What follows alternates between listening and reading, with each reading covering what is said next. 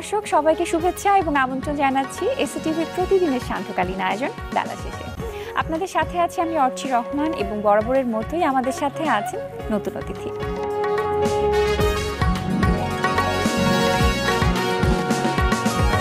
প্রিয় দর্শক, আজ আমাদের সাথে আছেন দুজন অতিথি। নাট্যকার এবং অভিনেত্রী রুশনি এবং খোরশেদুল আলম, নির্দেশক এবং অভিনেতা। আজ আমরা কথা বলব তাদের সাথে। কেমন আছেন দুজনের কাছেই জানতে চাই। হ্যাঁ ভালো আছি। এবং অনেক অনেক শুভেচ্ছা এবং শুভকামনা জানাচ্ছি বেলা শেষের আয়োজনে। আপনাকেও আমরা শুভেচ্ছা জানাচ্ছি শব্দ অনেক নাট্য অনেক চর্চা ধন্যবাদ। কেন্দ্রের পক্ষ থেকে। অনেক অনেক ধন্যবাদ। প্রথমেই যে বিষয়টি নিয়ে কথা বলতে চাই সাম্প্রতিক সময়ে শেষ হয়েছে একটি আহ, নাটকের কাজ সেটা হচ্ছে চম্পাবতী এবং যেটা শো শেষ করে আপনারা এসেছেন কিছুদিন আগে সেই অভিজ্ঞতার কথা দুজনের কাছে শুনতে চাই যে পরিকল্পনা কবে থেকে হলো নাটকের? হ্যাঁ, এই নাটকটি আমাদের দেশের বিখ্যাত পল্লী কবি জসিমুদ্দিনের বেদের মেয়ে অবলম্বনে আমাদের আরেকজন সব্যসাচী লেখক সৈয়দ শামসুল হক এটা কি নতুন করে আবার লিখেছেন এই নাটকটি বেদের মেয়ে অবলম্বনে চম্পাবতী। এই নাটকটা আমরা গত বছরের মাঝামাঝি থেকে আমরা মহড়া শুরু করি। আচ্ছা। প্রায় তিন মাস নিয়মিত মহড়ার পর আমরা এই নাটকটি মঞ্চে নিয়ে আসি। এই যাবৎকালে এই নাটকটি ষাটটি সফল মঞ্চায়ন সম্পন্ন আচ্ছা, হয়েছে। আচ্ছা। বাহ। গত দুই তারিখে আমরা ঢাকা এক্সপেরিমেন্টাল থিয়েটার হলে নাটকটি পঞ্চম প্রদর্শনী করি এবং পরের দিন আমরা চট্টগ্রামের স্বনামধন্য নাট্যদল মঞ্চমুকুট নাট্য সম্প্রদায়ের নাট্য উৎসবে আমরা এই এই নাটকটি পরিবেশন করি। জি এবং ভাবির কাছে জানতে চাচ্ছি যে আপনি তো এই নাটকে অভিনয় করেছেন হ্যাঁ। এবং আপনার অভিজ্ঞতা কেমন ছিল? আমি একাধিক চরিত্রে এখানে অভিনয় করি তার মধ্যে অন্যতম একটি চরিত্র হচ্ছে আসমানি। আচ্ছা এটা কেমন ছিল সেই চরিত্রটি? হ্যাঁ, চরিত্রটি হচ্ছে গয়া বাইদা আচ্ছা। তার প্রথম স্ত্রী চম্পাবতী। চম্পাবতীকে গ্রামের মহাজন যখন ধরে নিয়ে যায় দ্বিতীয় বিয়ে করে আসমানিকে। বেদে সমাজে যা হয় এই উম, গয়াবায়দা এবং আসমানির যে প্রেম সেটা আসলে অনেকটা সমঝোতা বলা যায়। আমরা দেখি যে আমাদের বাংলাদেশের প্রেক্ষাপটে যদি দেখি আমাদের নারীদের জীবন কিন্তু সমঝোতা করেই কাটিয়ে দিতে হয় প্রায় সময়। সেরকমই একটি বিষয় আচ্ছা। নাটকটিতে ফুটে উঠেছে। ভাইয়ার কাছে জানতে চাচ্ছি যে ভাইয়া তো নির্দেশনা দিয়েছেন এবং কেন মনে হয়েছে যে আসমানি চরিত্রে ভাবি কাজ করতে পারবেন আসলে এই নাটকটি যখন আমরা শুরু করি আমরা একটা তিন মাসের কর্মশালার মাধ্যমে তখন রুশনি এই নাটকে আসমানির ক্যারেক্টার ছিল না। আচ্ছা। সেটা একদম তরুণ তরুণী আঠারোটা ছেলে মেয়ের মধ্যে নয়টা ছেলে এবং নয়টা মেয়েকে দিয়ে আমরা এই কাজটি করি। এখানে অনেকেই জীবনের প্রথম মঞ্চ উঠেছে। আচ্ছা। তাদের কোনো অভিজ্ঞতা ছিল না। তার মধ্যে ও একটা দাসী চরিত্রে অভিনয় করতো। মাঝখানে আমাদের যে মেয়েটা আসমানি করতো সে তার অসুবিধার কারণে পরবর্তীতে সেই আসমানি ক্যারেক্টারটা করে। এই নাটকটিতে আমি আবার একটু কৃতজ্ঞতা জানাই। এখানে অনেক বিখ্যাত নাটকের মানুষ কাজ করেছেন। আলো করেছেন আমাদের দেশের বিখ্যাত আলোক পরিকল্পক ঠান্ডু রায়হান। আচ্ছা। পোশাক করেছেন আইরিন পারভিন লোপা সংগীত করেছেন শিশির রহমান আ- আরও অন্যান্য সেট করেছেন হেনরি। আচ্ছা, আচ্ছা। সবাইকে আমি আবার কৃতজ্ঞতা জানাই কারণে একটি নাটক সবার সম্মিলিত প্রয়াসে মঞ্চে এবং একজন।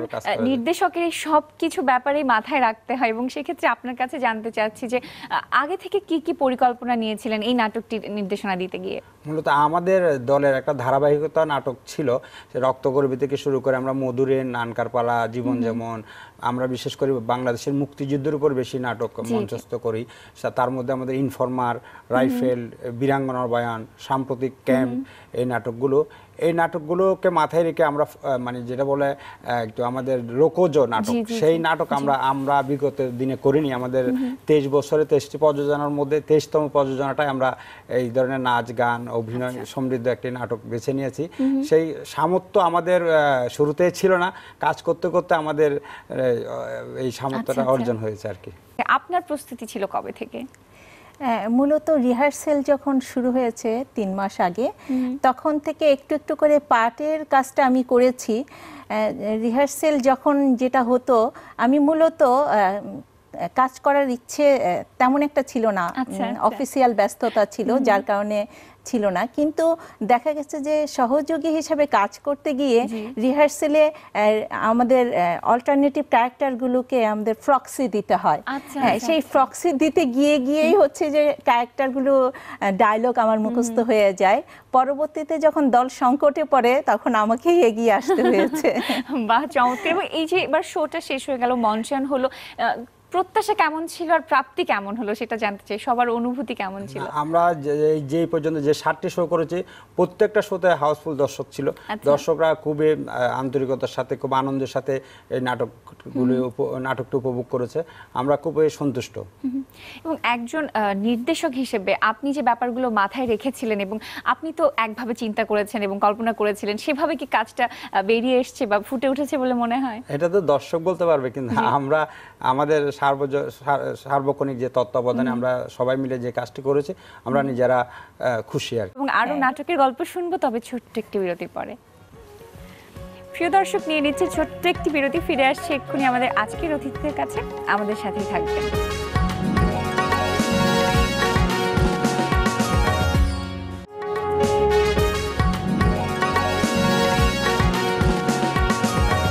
দর্শক বিরতির পর ফিরে এলাম। বেলা শেষের আজকের এই আয়োজনে। আপনাদের সাথে আছি আমি অর্চি রহমান এবং আমাদের সাথে আছেন নাট্যকার এবং অভিনেত্রী রুশনি এবং খোরশেদুল আলম, নির্দেশক এবং অভিনেতা। চলে যাচ্ছে আবারও তাদের কাছে। জি আরেকটি ব্যাপারে কথা বলতে চাই যে, এই কলকাতাতে কয়েকদিন পরে শো হতে যাচ্ছে এবং সেখানে পঁচাত্তরতম শো হতে যাচ্ছে বীরঙ্গনার বয়ান। বড় একটি আয়োজনে হতে যাচ্ছে সে সম্পর্কে জানতে চাচ্ছি আয়োজনটি সম্পর্কে শুনতে চাচ্ছি। এটা আসলে আমাদের যে বীরাঙ্গনার বয়ান দুই হাজার তেরো সাল থেকে নিয়মিত হচ্ছে। ভারতের প্রায় বিশটি পশ্চিমবঙ্গের বিশটি জেলাতে জেলার মধ্যে আমরা আঠারোটি জেলাতে এই নাটকটি প্রদর্শন করেছি। আচ্ছা, সাম্প্রতিক আমরা দিল্লিতে কালীবাড়ি নাট্য উৎসব নিউ দিল্লি ওখানে আমরা প্রায় আঠাশটা দলের মধ্যে এই নাটকটি ছিল করে আমরা দেশে ফিরেছি। এর মধ্যে আমাদের আগামী বিশ তারিখ কলকাতার স্বনামধন্য নাট্যদল সোহর নাট্য মেলায় মিনারবা থিয়েটারে আমাদের এই নাটকে মঞ্চায়িত হবে। এই নাটকটি ওখানে আমাদের পঁচাত্তরতম শো পড়েছে। যেহেতু ভারতের বেশিরভাগ শো করেছে আমরা বিয়াল্লিশতম আর একটা করলে তিয়াল্লিশতম শো হবে। সেই কারণে পঁচাত্তরতম শোটাও ভারতে হচ্ছে আচ্ছা। সেজন্য আমরা বাংলাদেশের সকল নাট্যকর্মীদের পক্ষ থেকে আবারও পশ্চিমবঙ্গের নাট্যকর্মীদের কৃতজ্ঞতা জানাই কারণ তারা আমাদেরকে এতবার ডেকেছে এতবার শো করার সুযোগ করে দিয়েছে। বাহ চমৎকার। ভাবির কাছে জানতে চাই বীরঙ্গনার বয়ানে আপনি আছেন এবং কাজ করতে যাচ্ছেন প্রস্তুতি কেমন হচ্ছে এবং এক্সাইটেড কতটুকু? হ্যাঁ এক্সাইটেড তো অবশ্যই কারণ এই নাটকটির সূতিকাগার হচ্ছে আমাদের শাহবাগ আন্দোলন। আচ্ছা। হ্যাঁ দু সালে যখন আমরা সবাই সেই কাদের মোল্লার ফাঁসির দাবিতে উত্তাল হয় শাহবাগ তখনই এই নাটকটি আমরা সূচনা করি। বাংলাদেশ গ্রুপ থিয়েটার ফেডারেশন এবং বাংলাদেশ শিল্পকলা একাডেমি তখন উদ্যোগ নিয়েছিল মুক্তিযুদ্ধ ভিত্তিক নাটক প্রদর্শনের রচনা এবং প্রদর্শন। আচ্ছা আচ্ছা। তখনই দল থেকে আমাকে দায়িত্ব দেওয়া হলো যে একটি নাটক লেখার মুক্তিযুদ্ধের উপরে। এবং আমাদের নির্দেশক ছিলেন দেবাশিস ঘোষ। আচ্ছা। তিনি এবং আমি দুজন মিলে আমরা চেষ্টা করলাম যে একটা স্ক্রিপ্ট কীভাবে দাঁড় করানো আচ্ছা, যায়। আচ্ছা। ওই সময়টাতে আসলে খুবই কঠিন ছিল মঞ্চে নাটক নিয়ে আসা। সেই জঙ্গিবাদ একদিকে হেফাজতের যে সময়টা। গেছে সেই সময়ে আমরা দল থেকে যে অভিনয়টা করব ও ধরনের সাহসী ছেলে মেয়েও আমরা পাচ্ছিলাম না। আচ্ছা। শেষে সংকটে যখন পড়ে যাই তখন আমি দেবাশিস দা এবং খোরশেদ আমরা তিনজন মিলে চিন্তা করলাম যে আমরা এমন কিছু করব যেটা খুব কয়েকজন অভিনেতা অভিনেত্রীর মাধ্যমে করা যায়। আচ্ছা, আচ্ছা। তখন আমরা চেষ্টা করলাম যে যেহেতু আমাদের বীরাঙ্গনারা বিভিন্ন সময় বিভিন্নভাবে এখনও পর্যন্ত নিগৃহীত অবস্থায় রয়ে যাচ্ছে। তাদেরকেই আমরা বেছে নিলাম আমাদের সাবজেক্ট হিসাবে। আচ্ছা। অনেকক্ষণ ধরে কিন্তু আমরা বীরঙ্গনার বয়ান নিয়ে কথা বলছি। আমরা কি হ্যাঁ। কোনো ডায়লগ শুনতে পারি দু লাইন? হ্যাঁ অবশ্যই। ঠিক পরদিন আমাদের গায়ের বাদশামিয়া লুঙ্গির খুঁটা দইরা গলায় গামছা ঝুলাইয়া খুইরা বেড়ায়। এই বাড়ি এই বাড়ি। সাসাজান ও সাসাজান বাড়ি আসো। ও, আসো তাইলে। যুদ্ধ কিন্তু শুরু হয়ে গেছে। মিলিটারি নামছে। আরে আরে, ভয় পাও কেন? আমি আছি না এই বাদশা মিয়া মগর কইলাম, ঘরের বৌজি রে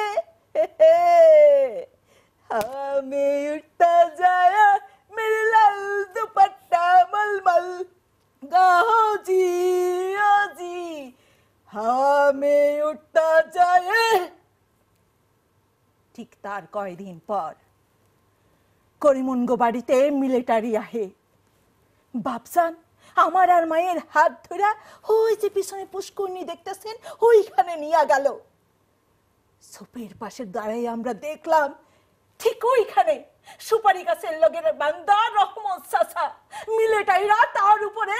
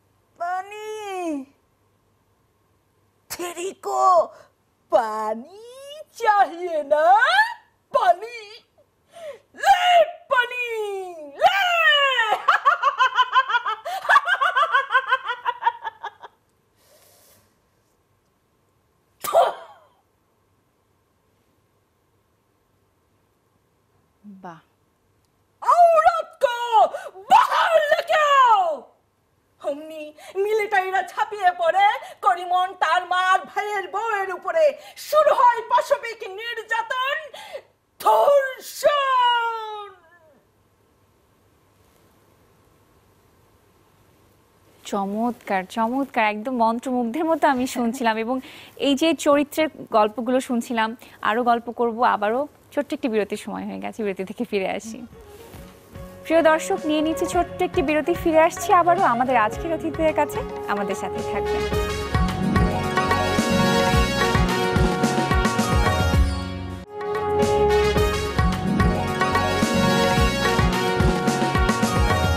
দর্শক, বিরতির পর আবারও ফিরে এলাম। বেলা শেষের আজকের এই আয়োজনে। আপনাদের সাথে আছি আমি অর্চি রহমান এবং আমাদের সাথে আছেন নাট্যকার এবং অভিনেত্রী রুশনি এবং খোরশেদুল আলম, নির্দেশক এবং অভিনেতা। চলে যাচ্ছে আবারও তাদের কাছেই।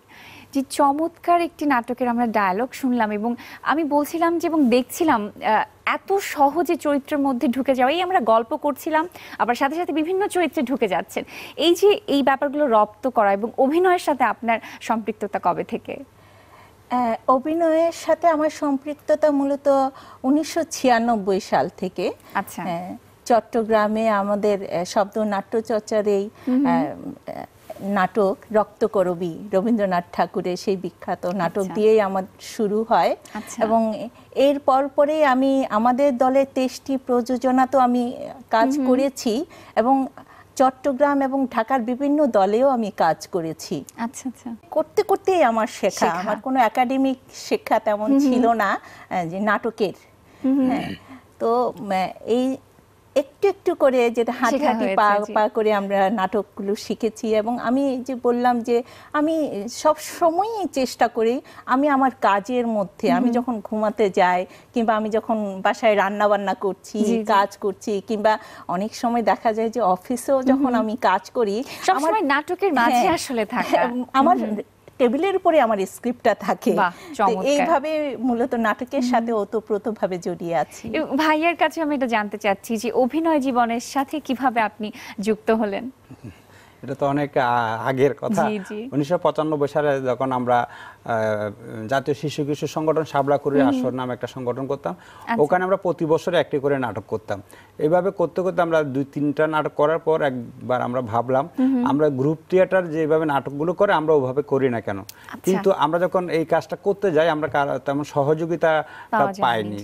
অনেক এক বছর প্রায় এইভাবে কেটে যায়। পরে আমাদের চট্টগ্রামের একজন বিশিষ্ট নাট্যকার নির্দেশক প্রদীপ দেওয়ান যে শরণাপন্ন হই। উনি আমাদেরকে কর্মশালা করিয়ে একজন ডিরেক্টর দিয়ে আমাদের প্রথম একটা নাটক করি পাগলা ঘন্টি আচ্ছা, এরপর পরে আমাদের এই যে আমরা পনেরো বিশ জন ছেলে মেয়ে একই সাথে তরুণ সবাই পড়াশোনায় ছিল। আমরা মিলে এই শব্দটাকে টেনে নিয়ে যাই। এর পরে আমরা রক্তকরবী নাটকটি ধরি। এই রক্তকরবীতে রুশনি চন্দ্রার অভিনয় করে আমি ফাগুলালের অভিনয় করি। এরপর থেকে আমরা দুই হাজার সাত সাল পর্যন্ত চট্টগ্রামে ছিলাম। দুই হাজার সাতের পর আমরা ঢাকায় চলে আসি। ঢাকায় আসার পর আমরা আবার দলটাকে সংগঠিত করি। এরপরে আমাদের এখানে ঢাকাতে আমরা গ্রুপ থিয়েটার ফেডারেশনের সাথে আবার যুক্ত হই। পর আমরা অনেকগুলো নাটক ঢাকা বাংলাদেশের বিভিন্ন জেলাতে আমরা কর্মব্যস্ত থাকি আগামী এই দুই মাসের মধ্যে আমাদের প্রায় বারোটি আমন্ত্রিত প্রদর্শনী আছে।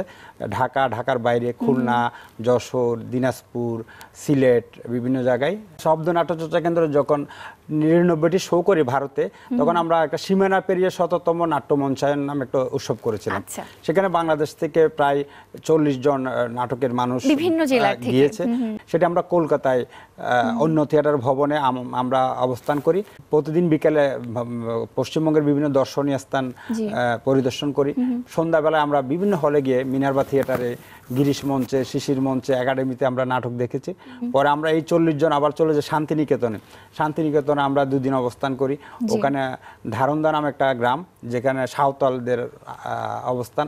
ওদের ট্রেডিশনাল ওরা যেভাবে থিয়েটার করে ওদের থিয়েটার দেখেছি। আচ্ছা কাজের বাইরে একটু জিজ্ঞেস করি বা কাজের জগতের কথা যদি জানতে চাই দুজন মানুষই একই জায়গায় কাজ করছেন কাজের আন্ডারস্ট্যান্ডিংটা কেমন? কাজের দুজনের কাছেই জানতে চাচ্ছি। আসলে দুজনের সাথে মতের অমিলটাই বেশি বেশি। তারপর সেটা কীভাবে কম্প্রোমাইজ করা হয় কে কম্প্রোমাইজ করে? দুজনেই কম বেশি কম্প্রোমাইজ করি। যখন যেটা মনে হয়। যে এটা করতে গিয়ে না এটা ভালো লাগছে তখন সেটা ও যদি বলে যে না এইটা এইভাবে না ওভাবে করো ভালো লাগবে। ওটা গ্রহণ করছি। আবার আমিও যখন বলছি যে না এটা বোধহয় এভাবে করলে ভালো হয় আচ্ছা। তখন সেও কিন্তু আবার সেটা মেনেই নেয়। হ্যাঁ। একে অন্যের ভুল কি ধরা হয়? ভাইয়ের কাছে জানতে চাই। হ্যাঁ, একে অন্যের ভুল ধরা হয়। না আসলে কাজ করতে গেলে তো ভুল হবেই। আবার কাজের মধ্যে ভুল সংশোধন হয়ে যায়। জি অনেক অনেক শুভেচ্ছা জানাচ্ছি। আমাদের বেলা শেষে সেটে আজকে আসবার জন্য। গল্প করতে করতে আমরা অনুষ্ঠানের একদমই শেষে চলে এসেছি। এসএটিভিকে আমরা ধন্যবাদ জানাচ্ছি এবং শব্দ নাট্যচর্চা কেন্দ্রের আগামী দিনের আমাদের যে যাত্রা আমরা আশা করব যে মিডিয়াকে আমরা সবসময়ই পাশে পাবো। অবশ্যই। প্রচারই প্রসার এটা আমরা বিশ্বাস করি। ধন্যবাদ সবাইকে। অনেক অনেক ধন্যবাদ ভাইয়া।